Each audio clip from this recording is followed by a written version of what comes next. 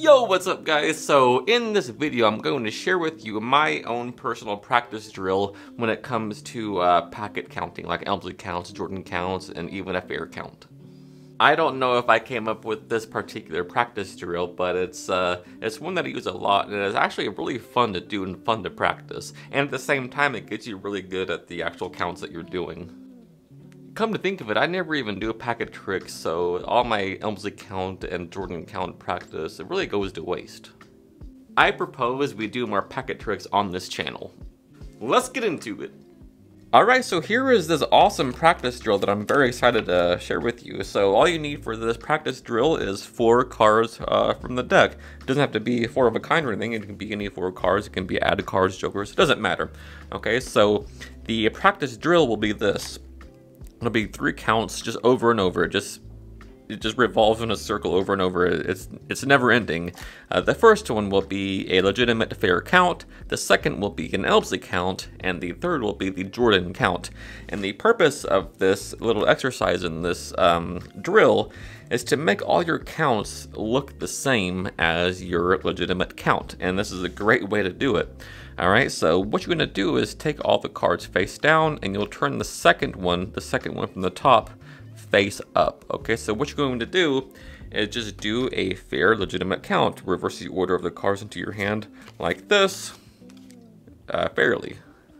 Now there's a bunch of ways to count cards into your hand, but what you want to do is make it look the same as the Elmsley count, or make the Elmsley count look the same as your fair count vice versa, right? So you want to match every action.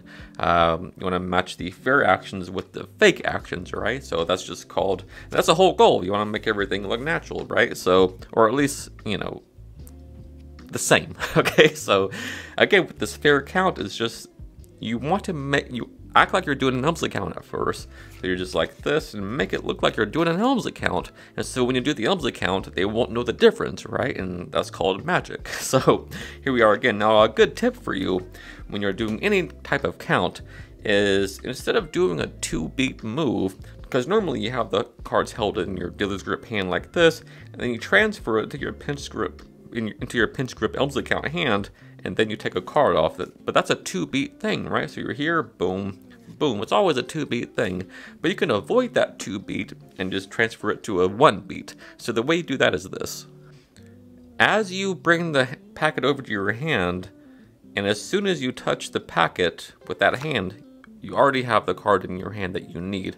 All right, and the way you're doing that is you plant your thumb on top of the back of the card like this, and with an upward pressure with your index finger on the edge of the packet here, you want to just slide your thumb across diagonally to the direction of maybe the middle knuckle of your index finger there and just slide a card off, okay? And that card, you get a single card doing that with the upper pressure of your uh, index finger. So it's like this, you can see that happening, You're just sliding one card off with the aid of your index finger, sort of a guide, right? So you just get one card. And you do that as you bring the packet over so that as soon as you touch the packet there's already a card in your hand.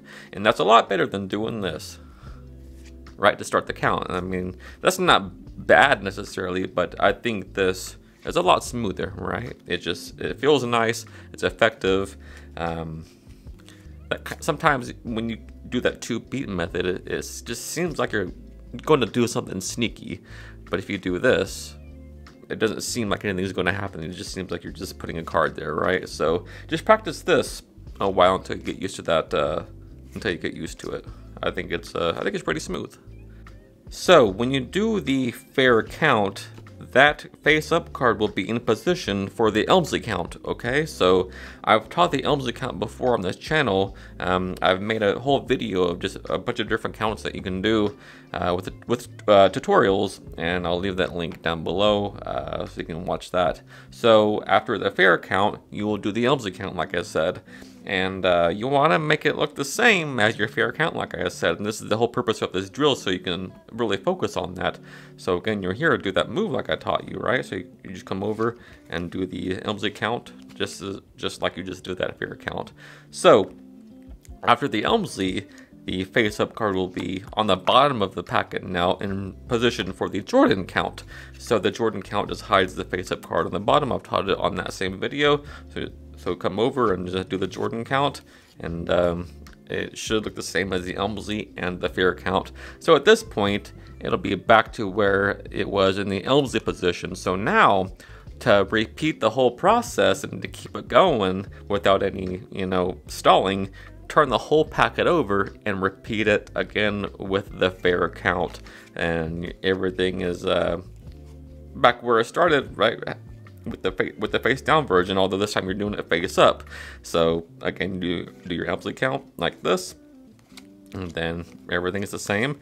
Do your uh, do your Jordan count, and uh, you, you keep going on forever like this. Turn the packet face down. Do your fair count. Do your uh, count.